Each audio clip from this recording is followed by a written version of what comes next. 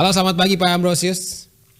Selamat pagi, salam sehat, salam tangguh untuk semua pemirsa RRI di mana saja berada. Ya, salam sehat, salam tangguh. Pak Ambrosius, ini BPBD NTT membentuk 10 desa tangguh bencana begitu ya Pak Ambrosius. Ini bisa disampaikan dulu ini desa tangguh bencana ini seperti apa nih Pak Ambrosius? Ya, uh, baik. Uh, BPBD Provinsi NTT hmm. memang tahun 2022 ini menargetkan untuk membentuk uh, 10 desa kelurahan tangguh bencana. Oke. Okay. Apa itu desa kelurahan tangguh bencana? Desa kelurahan tangguh bencana ini kan sebenarnya desa kelurahan hmm. yang memiliki kemandirian ya, okay. memiliki kemandirian atau kemampuan yang mandiri hmm. untuk beradaptasi dan menghadapi ancaman bencana serta mampu memulihkan diri dengan segera dari dampak bencana yang merugikan mm-hmm. jika terkena bencana. Okay. Itu desa kelurahan tangguh bencana. Mm-hmm. Lalu kenapa pemerintah provinsi uh, eh, NTT mesti melakukan uh, pembentukan desa kelurahan tangguh bencana? Mm-hmm. Yang pertama karena di dalam konteks pencapaian uh, rencana pembangunan jangka menengah daerah provinsi NTT 2018-2023 hmm. itu sudah diatur antara lain salah satu indikator uh, eh, NTT tangguh bencana adalah uh, terbentuknya desa kelurahan tangguh bencana. Okay. 3.026 desa hmm. di Provinsi Nusa Tenggara Timur itu uh, kita perlahan-lahan mendorong untuk semua menjadi desa kelurahan tangguh bencana hmm. dan proses ini tentu berjalan. Hmm. Yang pertama kita pastikan bahwa pendekatan desa tangguh bencana merupakan pendekatan pengurangan risiko bencana berbasis komunitas. Okay. Komunitas di dalam konteks uh, desa. Okay. Di dalam desa kelurahan tangguh bencana ini, hmm.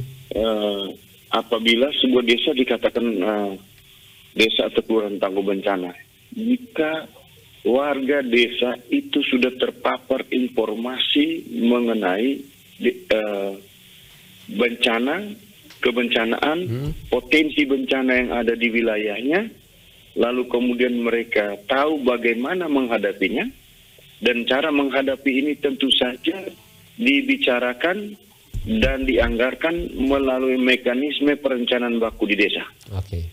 Sehingga mereka mampu untuk melakukan pencegahan, hmm. mitigasi, mereka mampu melakukan penanganan keadaan darurat, dan mereka mampu melakukan perbaikan pemulihan pada masa pasca bencana yang kita kenal dengan uh, rehabilitasi rekonstruksi. Nah terkait dengan ini uh, kita tahu bahwa provinsi NTT adalah poten, eh, provinsi yang uh, memiliki kekayaan alam yang luar biasa, hmm. yang sangat indah, bahkan sudah terkenal di mana pun. Antara lain misalnya kita memiliki objek-objek wisata yang luar biasa. Sehingga pemerintah Provinsi NTT mendorong pembangunan di 2018-2023 itu dengan pariwisata sebagai uh, prime mover atau uh, sektor penggerak utama. Hmm. Dengan Ring of Beauty yang kita hmm. miliki di Nusa Tenggara Timur. Okay. Tetapi pada saat yang bersamaan ini juga kita yang hidup di wilayah Provinsi Nusa Tenggara Timur itu mesti sadar bahwa kita hmm. tinggal di wilayah yang terberikan dengan potensi bencana yang luar biasa. Hmm. Kajian risiko bencana menunjukkan ada beberapa potensi bencana. Antara lain yang pertama itu banjir, hmm. kemudian tanah longsor, yang ketiga kekeringan, yang keempat ada gempa bumi, yang kelima ada tsunami, enam ada cuaca ekstrim, hmm. tujuh ada apa namanya uh, yang sekarang ini juga sementara kita alami juga yang namanya bencana non alam yaitu yeah. pandemi COVID-19. Ini banyak potensi nah, bencana kita, begitu ya Pak Amros ya? Ya, ya. Hmm.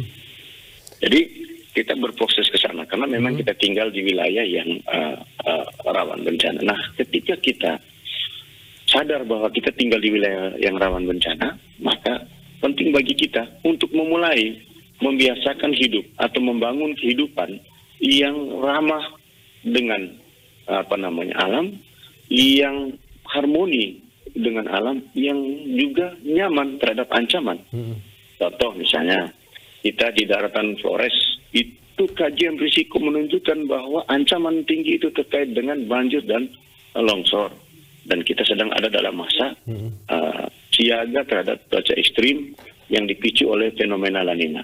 Kenapa kita dalam uh, untuk banjir dan longsor itu kita dalam apa ancaman yang tinggi? Karena memang secara topografi di wilayah Flores itu uh, kita banyak menghuni di wilayah-wilayah dengan kemiringan yang cukup terjal. Oleh karena itu, mm-hmm. apabila semua desa kelurahan, misalnya kita bisa dorong menjadi desa kelurahan tangguh bencana, orang mulai hidup apa namanya menyadari bahwa oh kita tinggal di wilayah dengan uh, ancaman potensi bencana seperti ini. Sehingga apa harus kita kerjakan? Kita mendorong apa namanya di pencegahan kesiapsiagaan kita mendorong informasi tentang titik-titik apa kerawanan atau uh, wilayah-wilayah rawan bencana. Kemudian kita dorong peringatan dini berdasarkan informasi peringatan dini dari BMKG misalnya bahwa pada jam sekian di wilayah kecamatan yang desa ini misalnya akan terjadi hujan dengan intensitas tinggi Eh, dengan durasi yang panjang. Oleh karena itu, akan disampaikan peringatan dini dengan media-media komunikasi berbasis hmm. masyarakat. Ya. Uh, bahwa pada jam sekian, apabila terjadi hujan dengan curah hujan apa intensitas yang sedang hingga tinggi, hmm. lalu kemudian lebih dari satu jam, dan apa namanya, uh, objek dengan jarak pandang 30 meter tidak jelas terlihat, maka warga desa akan dengan sendirinya yang tinggal di daerah-daerah lereng kemudian daerah-daerah uh, apa namanya di bantaran sungai, lalu di daerah, daerah rendah aliran sungai, itu sudah akan menjadi otomatis mereka akan begitu satu jam mereka harus sudah bergeser ke titik evakuasi. Okay. Sehingga tugas pemerintah tinggal menetapkan titik evakuasi di mana dan memastikan jalur evakuasi itu diketahui oleh warga setempat dan jalur evakuasi itu aman. Okay, baik. Sehingga itu hal-hal macam itu hmm. yang uh, kita dorong. Okay. Apa yang mau kita capai adalah pengurangan risiko bencana. Ya. Sedapat mungkin kita menekan uh, jumlah korban jiwa. Kalau bisa nol, yang orang sebut sebagai zero victim. Hmm. Tetapi kalau terpaksa harus ada korban jiwa, maka jumlah korban jiwanya harus bisa kita tekan. Oke okay, baik, Pak Ambrus. Lalu uh, kemudian, ya. Uh, untuk desa tangguh bencana ini di NTT ini sejauh ini sudah ada berapa desa atau ini 10 desa yang ditargetkan ya. ini desa pertama begitu Pak Ambrus? Jadi kita memang di tahun ini kita sudah di triwulan satu kita hmm. sudah melaksanakan pembentukan uh, lima desa kelurahan tangguh bencana. Di tahap kedua nanti kita akan lanjutkan lagi dengan lima desa kelurahan tangguh bencana. Hmm. Kita membidik desa-desa kelurahan yang sesuai dengan kajian risiko bencana hmm. itu yang pertama dia rawan bencana hmm. sesuai dengan potensi ancaman yang ada di wilayahnya. Lokasinya di mana saja ini Pak Ambrus? Ya. Lokasinya di mana saja untuk eh, desa-desa uh, tersebut? Ya. Untuk tahap pertama mm-hmm. itu kita sudah lakukan itu kebetulan di Kabupaten Kupang. Oke. Okay. Itu antara lain di Kelurahan Burain, Kelurahan Tarus, kemudian uh, Desa Tablolong, mm-hmm. Desa Merbaun dan Desa Nekbaun. Ini adalah desa-desa yang kebetulan ada di wilayah pesisir mm-hmm. yang sangat rawan uh, terhadap ancaman tsunami. Sebagaimana data yang kita punya, bahwa pada tahun 1814 itu pada bulan Oktober itu pernah terjadi tsunami di wilayah Kupang. Oleh karena itu, desa-desa kelurahan yang kita lihat dengan potensi ancaman uh, tsunami tinggi, kita dorong untuk uh, desa-desanya menjadi desa atau kelurahan tangguh bencana. Okay, Lalu tahap kedua kita akan lagi membentuk uh, lima desa kelurahan tentu dengan kajian potensi uh, apa namanya uh, ancaman bencana di desa tersebut. Untuk Demikian. Polres dan uh, Lembata sendiri ini uh, ada target kapan begitu pembentukan desa tangguh bencana, Pak?